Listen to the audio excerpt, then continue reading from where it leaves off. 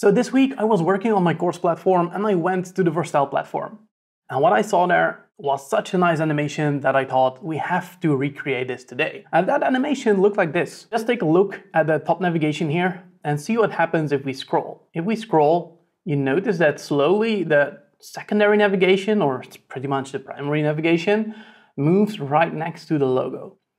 And the top bar simply scrolls out of view. And my mind immediately went, oh my god, we can rebuild this with Framer Motion, we can do this, let's go. And then I thought, there's no need for Framer Motion here. This is actually a really simple animation. So today I want to break this down and we're going to recreate this with just a little bit of CSS and a scroll listener in JavaScript. So let's do it. So as a starting point for us, I already created this basic setup, which is a really simple React app where we have a few Tailwind classes that already makes this basic framework. You see the top main navigation or breadcrumbs, I think, and then the main navigation right underneath that. And this is what we're going to use to animate. If you scroll now, you don't see anything, simply everything moves out of the way. And I'm using React here, but you could build this with plain JavaScript as well. There's no need for any framework here. So let's take this step by step. The first thing we can do is make this menu stay at the top. And we can do that by using some basic CSS. And the CSS we need for that is position sticky. And if we go to this main navigation, you see that I did not put this inside of the header component because the header component is a component that's actually right on top of the navigation component and not, it's not nested inside each other. And the reason for that is because now I can add position sticky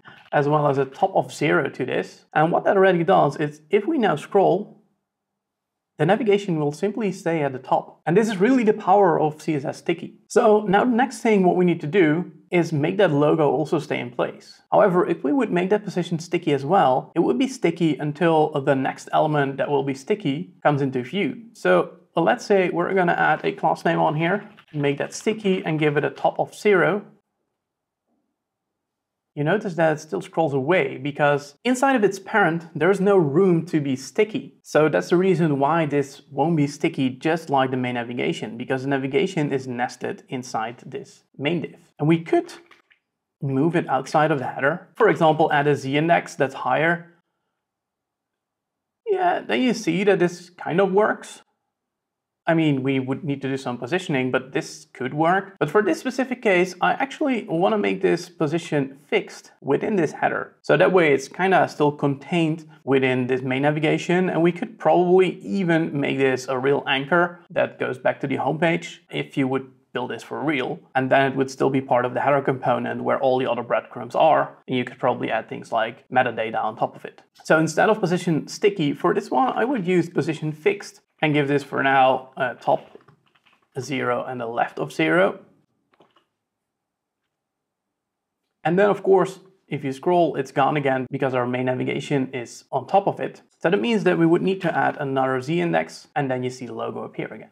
And now, of course, we have positioned this element in the top left corner, oh, and we should even add a zero here which is not the right position, and that is because we still need to take into account the padding that the header has. So we're gonna make it top four as well as a left of six, so it's in the original position again. But it also means that this header now has a padding left of 16 so it has some room for the logo to be positioned. And that is because we're using position fixed. The logo doesn't take up the place in the DOM anymore that it would used to. So everything simply moves to the left. And we correct that with the newly added padding. And now if we would then scroll, you see that the logo falls into place right where uh, the main navigation is. And if we take a look at for Vercel's example again and you scroll you see that pretty much the only thing that happens now is that the navigation moves to the right and it also seems to move up. However, that's not really the case. It is moving up because you're scrolling.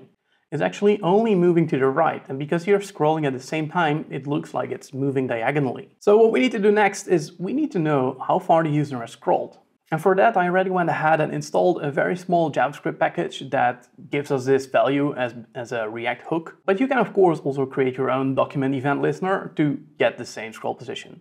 However, we are going to go ahead and import use scroll position from React Hook window scroll. And this is a package that I already installed. Use that if you want, but there's plenty of others that you can use as well. So this use scroll position we can use in our app, which gives us a Y value. And in there we can use that use scroll position and we pass in a number of 60 which is the times per second that this should update the number. And if we use 60 frames per second, we get a really smooth update, so the animation will happen as often as possible. Based on this number, we can then create a translate X that moves the text to the right. Let's take a quick look at that Y value first. We copy that and we go, for example, to our main and we render that, you see that we get a number that updates the Y position if we scroll. What I want to do now is I want to convert this number if you go from 1 to 50, for example, into a specific range. So I want to convert the range 0 to 50 to, for example, let's say a translate of 0 to 24 pixels.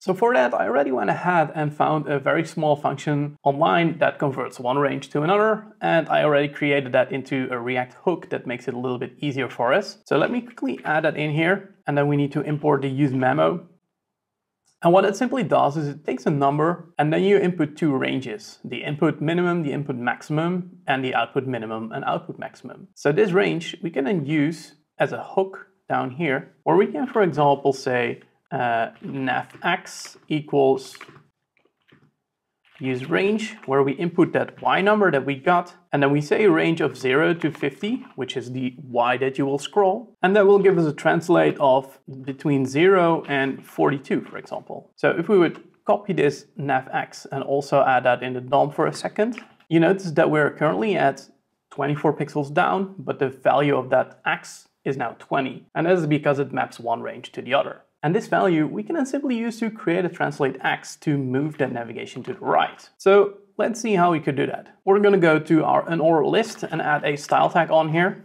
where we're gonna add transform and you see Copilot already guessing what we want. Or we're gonna add a translate X and then we don't want a negative translation, but we want to translate right. And because this number is constantly updating while we scroll, you already see that if we start scrolling now, that it kinda makes an animation. So let's do it. Look at that. It already moves to the right and it also seems like it's moving to the top and there's nothing else you need to do. Although there's one small thing that the Vercel team also did, and that is shrinking the logo down in size as well. For that, we're gonna go back up. We create logo scale, where we again are gonna use the use range and input the Y go from 0 to 50, and then we go from 1 to 0.8. And then this scale, we can go to our SVG, and we can add another transform. Come on, Copilot. Thank you very much. And then we're gonna add this scale on top of it. So that means if you scroll now, you see that the logo also shrinks just a little bit, so it fits a bit better in that navigation container.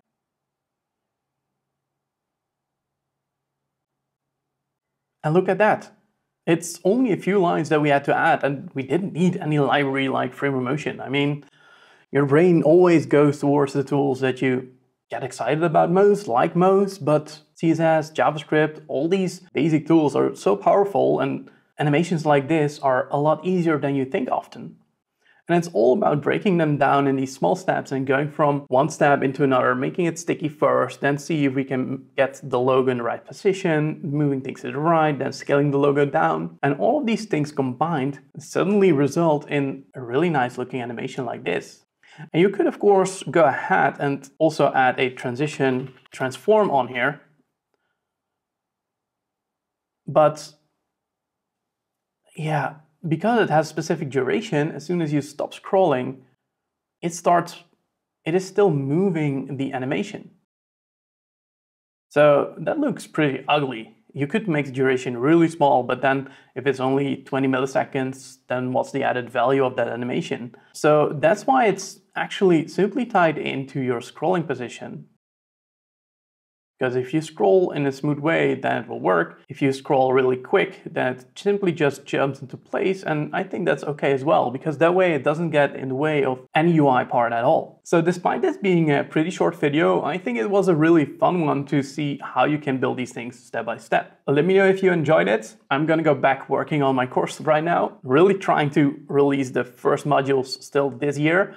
And it's looking quite good. Follow me on Twitter as well if you want to see more updates. And then please subscribe and leave a like on the video because that helps me a lot. Thank you so much for watching and I will see you in the next video.